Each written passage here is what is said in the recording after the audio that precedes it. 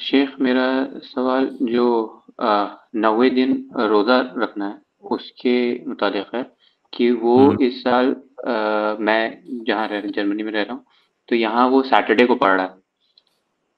तो और और शेख मैंने पढ़ा कि शेख अलबानी का वो पढ़ा था तो उसके अंदर उन्होंने बोला था कि सैटरडे को वो नहीं रखना है रोज़ा है अगर वो नवा दिन हो तो भी। तो शेख मैं थोड़ा सा कंफ्यूज हो गया। कहाँ पे हैं भाई? आप कहाँ पे हैं? जर्मनी में शेख। जर्मनी में नौ तारीख सैटरडे को पड़ रहा है? जी जी। जी। तो आप मेरे एक सवाल का जवाब दीजिए। इंशाल्लाह उसी के अंदर आपके सवाल का जवाब है। आप ये बताइए कि आप सैटरडे का रोजा रखना चाहते हैं या अरफा का रोजा रखना चाहते हैं? अरफा का रोज़ा रखना चाहते हैं। तो फिर सैटरडे क्यों आया बीच में? क्योंकि आपकी हाँ देखिए आपकी आप जो है अरफा का रोजा रख रहे हैं ना कि आप सैटरडे का रोजा रख रहे हैं। जब रमज़ान में भी जो अयाम होते हैं वो सात दिन के होते हैं हफ़्ते में सात दिन होते हैं। तो जब हम रमज़ान में रोजा रखते हैं तो क्या हम ये कहते हैं कि हमने जुमा का रोजा रखा है हमने शनिचर का रोजा रखा है कि हमने रमज़ान का रोजा रखा है? रमज़ान का। रमज़ान का रखा है। हमने रमज़ान का रोजा रखा है। तो आप अरफा का रोजा रख रहे हैं। तो यहाँ से आपको समझ जाना चाहिए कि आप सैटरडे का रोजा नहीं रख रहे हैं आप अरफा का रोजा रख रहे हैं। ये तो इत्तेफाक की बात है कि वो सैटरडे को पढ़ रहा है। वो दूसरे दिन भी पढ़ सकता था। तो आप अरफा का रोजा रख रहे हैं तो पहली बात तो ये। दूसरी बात थोड़ी इसमें तफसील है वो ये कि अल्लाह के नबी सल्लल्लाहु अलैहि वसल्लम की एक हदीस है कि सनीचर का रोजा यौम सब। सैटरडे का रोजा मत रखो। सैटरडे का रोजा मत रखो। एक और हदीस है अल्लाह के नबी वसल्लम की, जिसमें जुमा का रोजा रखने से भी मना किया गया है। सवाल यह है कि इसका मतलब क्या है? इसका जवाब एक दूसरी हदीस के अंदर मौजूद है। अल्लाह के नबी वसल्लम की अजवाज में से गालिबन उम्मे हबीबा है या कौन है? अल्लाह के नबी वसल्लम उनके पास गए और जुमेरात का दिन था। सॉरी जुमा का दिन था। जी। जुमा का दिन था वो रोज़े से थी। अल्लाह के नबी वसल्लम ने उनसे पूछा कि क्या आपने कल रोजा रखा था? गुजश्ता कल? गुजश्ता कल कौन सा दिन था? जुमेरात। जुमेरात जी। क्या आपने जुमेरात का रोजा रखा था? उन्होंने कहा नहीं। अल्लाह के नबी ने पूछा क्या आइंदा कल रोजा रखने वाली हो? आइंदा कल कौन सा दिन है? सैटरडे तो उन्होंने कहा, नहीं, आइंदा कल भी नहीं रखने वाली हूँ। तो अल्लाह के नबी सल्लल्लाहु अलैहि वसल्लम ने कहा, फिर इफ्तार कर लो। इस हदीस को अगर आप गौर करेंगे तो बहुत क्लियर अंदाज में आपके समझ में आएगा कि गोया की जुमा का रोजा तनहा नहीं रखना है। अकेले जुमा का रोजा नहीं रख सकते। अगर जुमा से एक दिन पहले आपने रखा है, या एक दिन बाद में भी आप रखना चाहते हैं तो जुमा का रोजा रख सकते हैं। अब आप ये बताइए कि कोई आदमी जुमा का रोजा और जुमा के एक दिन बाद का रोजा रखे तो जुमा के एक दिन बाद कौन सा दिन पड़ेगा? ऑटोमेटिक सनीचर पड़ेगा।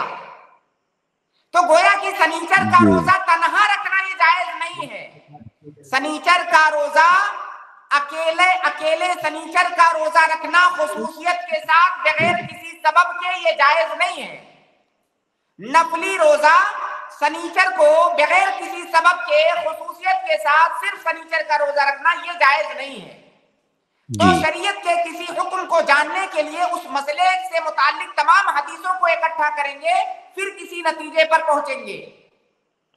तो खुलासा ये है इसको इस लाइन को आप याद रखें कि नफली रोजा बगैर किसी सबब के तनहा सनीचर को या तनहा जुमा को नहीं रख सकते।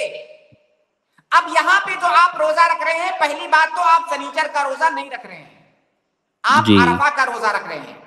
दूसरी बात, अगर कोई आपसे कहे भी कि भाई, दिन तो सनीचर ही का है तो आप उससे बताइए कि इसका सबब है। मैं उस सबब की वजह से रोजा रख रहा हूँ।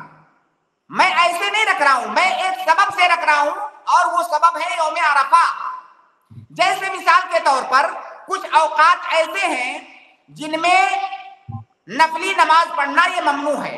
जैसे असर के बाद से लेकर के मगरिब तक नफिल नमाज़ पढ़ना ये मना है। लेकिन अगर आप मस्जिद में दाखिल हुए तो क्या आप तहियतुल मस्जिद पढ़ेंगे कि नहीं पढ़ेंगे? सही। कौल के मुताबिक आप पढ़ोगे। और शेख अलबानी रहमहुल्लाह का भी यही मानना है कि आप तहियतुल मस्जिद पढ़ोगे असर के बाद। तो यहाँ तो भाई असर के बाद नमाज़ पढ़ने से मना किया गया है। फिर आप तहियतुल मस्जिद कैसे पढ़ रहे हैं? ज़ाहिर है आप यही कहोगे कि यहाँ पर सबब पाया गया है। मैं बगैर सबब के नहीं पढ़ रहा हूँ। तो इसी तरह से वो जो। आप रोजा रख रहे हो वो उसका सबब है वो है योम अरफा। और दूसरी सबसे कभी बात ये कि हम सनीचर का रोजा नहीं रख रहे हैं। हमारे दिमाग में सनीचर नहीं है हमारे दिमाग में योम अरफा है। जी वाजे है शेख।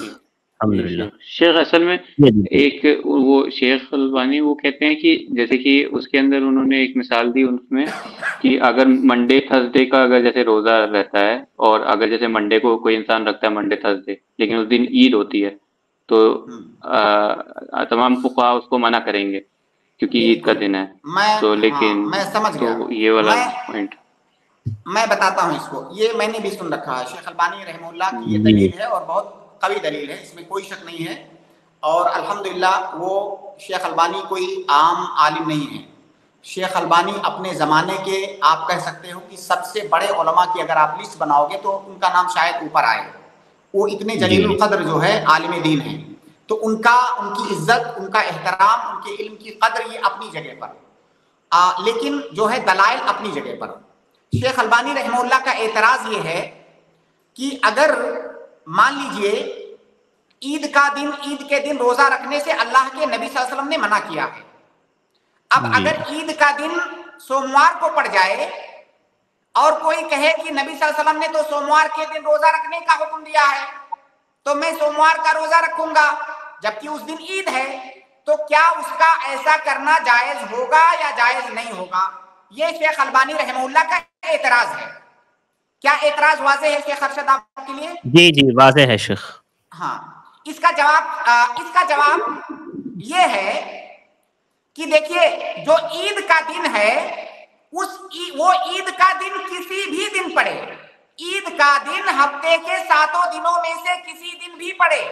अल्लाह रब्बुल आलमीन ने ईद के दिन में रो, रोज़े की सलाहियत ही नहीं रखी है। ईद के दिन में रोजा रखने की सलाहियत ही नहीं रखी गई है शरीयत के अंदर। वो ईद का दिन हफ़्ते के सातों अयाम में से किसी दिन भी पड़े। उस दिन रोजा रखना हराम है हर सूरत में। तो गोया कि उसके अंदर रोजा रखने की खूबी और सलाहियत और अहलियत जो होती है वो अहलियत नहीं है। शरीयत ने नहीं रखा है। जबकि जो सनीचर का दिन है सनीचर के दिन रोजा रखने की अहलियत और सलाहियत मौजूद है। उसकी दलील क्या है? उसकी दलील यह है कि सनीचर का दिन जब रमज़ान में पड़ता है तो आप रोजा रखते हो। सनीचर के दिन। गोया कि सनीचर के दिन के अंदर से अहलियत खत्म नहीं है मुकम्मल तौर से। सनीचर का दिन इस काबिल है कि उसका रोजा रखा जा सके जबकि ईद ईद का दिन किसी भी तरह से उसके अंदर रोजा रखे जाने की सलाहियत मौजूद नहीं है। लिहाजा इसको दूसरे के ऊपर कयास करना बिल्कुल भी सही नहीं है।